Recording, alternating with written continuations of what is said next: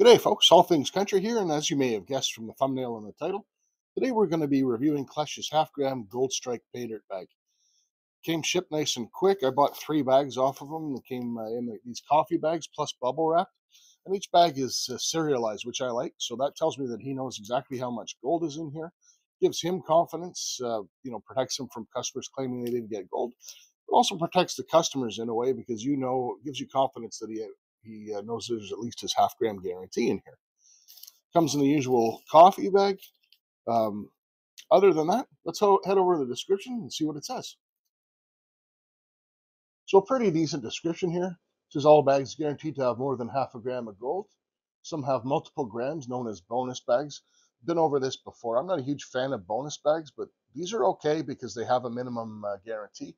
Most vendors that give bonus bags don't have a minimum guarantee, and everyone wastes their money chasing that bonus bag. But uh, obviously, with Klesh, that's not the case. Says the gold size will range from 12 mesh pickers and 30 mesh flakes to extremely fine flour gold.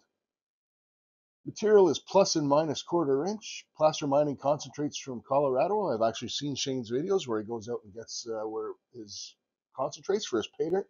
They are uh, genuine uh, river concentrates, and you'll see that when I open this up. And uh, other than that, you'll have a chance at finding gemstones and potentially a pick. So, pretty cool. He rates this a difficulty level of seven. We'll see if that holds up. I highly doubt it, but we'll see. All right, so I have a 10 mesh classifier here. Uh, you guys at home, you can use a kitchen strainer if you don't have classifiers. I'm gonna open it up, and right on top, I see a nice piece of what looks like emerald. Very nice. I'm gonna pull that out and set it aside. Pretty cool. I'm not a huge gem guy, but I do have a jar of these that I keep going. But other than that, pretty straightforward looking material. We'll pour that in. As you can see, the um, well, maybe you can't light lighter stuff landed on top, but uh, classify this out. Nice rounded river rocks and some gems. I see chalcopyrite here. This looks to be some sort of quartz couple pieces, pieces of citrine in there. Pretty neat. I'll add that to the gem jar. Not a whole lot in the bigs. There's another piece of chalcopyrite or peacock ore. Sweet. All right, so we're all classified. These bigs won't take long. We're going to head over and do the bigs right away. All right, as usual, we have our oil change pan. We're going to add some Jet-Dry. Axis surfactant keeps the uh, small gold from floating away. And we'll start with the bigs. There's not a whole lot, so this won't take us very long. There we go. Make sure we don't have anything stuck to the bottom of the classifier, which tends to happen. A couple pieces in there, but none of them are gold, so we're good to go.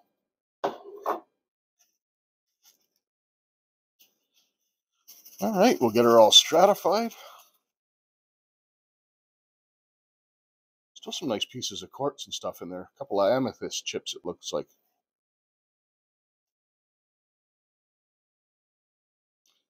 And there's actually some flour gold in here. Didn't expect that.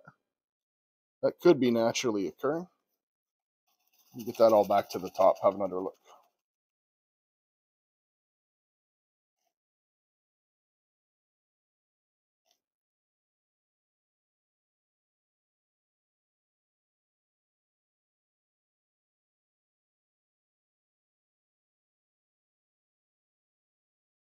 Nothing in the bigs except for that flour gold.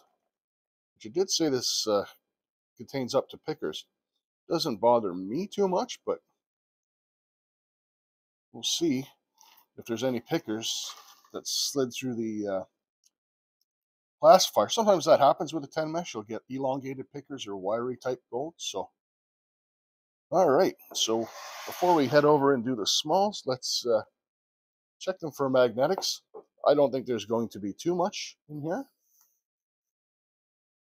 I mean, he rates it a 7 out of 10 difficulty, which would indicate that there'd be some magnetics in there to me, but very, very, very little. In fact, it's not even worth taking out. I'm actually going to leave those in there. So, as I said earlier, I highly doubt this is going to be a 7 out of 10 difficulty. He has an expert level pater and then uh, his impossible pater, uh, which is higher than that.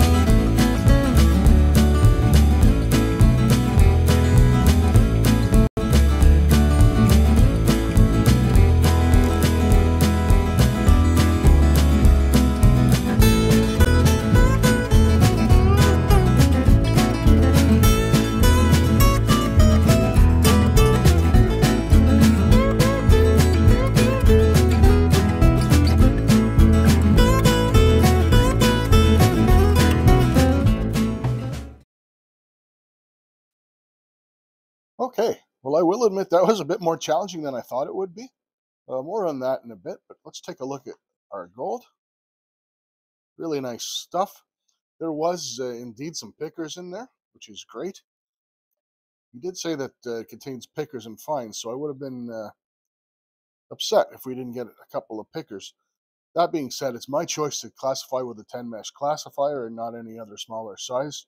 So, you know, some of these pickers did manage to make it through. There's one over there. There's one here I could pick up fairly easy. There you go. But yeah, some really nice gold. So let's get this stuff dried up. We'll get ourselves a weight.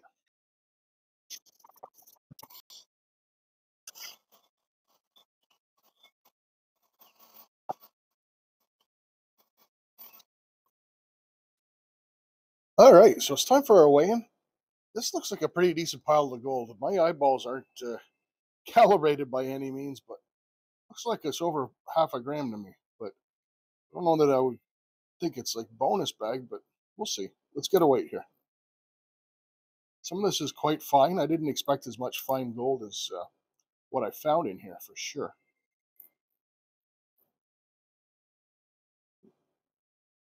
Help if I quit hitting my scale with my gold pen.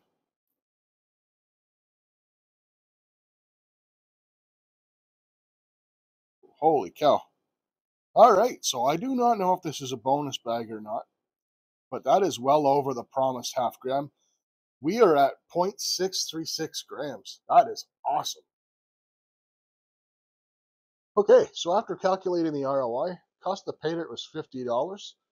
The gold recovered 0.636 grams on a promise of half a gram, which is awesome. Gold value $41.61, giving me a total ROI of 83.2%, which is an awesome ROI, especially for a vendor that doesn't mine his own gold. Great stuff. I do not think this is a bonus bag. I've seen others online that have uh, gotten bonus bags and big nuggets and such. That being said, I'll take it. An 83.2% ROI is fantastic any day of the week. As for the dirt itself, Klesh rated at a 7. I would say it's up there. Uh, I was uh, surprised it had a good amount of hematite in it. And I'm genuinely surprised that there's as big a gap in difficulty between his beginner dirt and his strike dirt, knowing that he's got expert and impossible on top of that. That being said, I just might have gotten a bag that had a little more hematite in it than others because hematite's not magnetic, so it's impossible for the vendor to remove that. All in all, very enjoyable dirt. Definitely all things country approved. Very much enjoyed it. Plus, I got some bonus gold that uh, I didn't know I was going to get, so I'll take it. Thanks again for watching, guys. Please like and subscribe and support the channel. It's very much appreciated. We're starting to go pretty fast, and it's awesome. So thank you all very much. Cheers, and we'll catch you on the next one.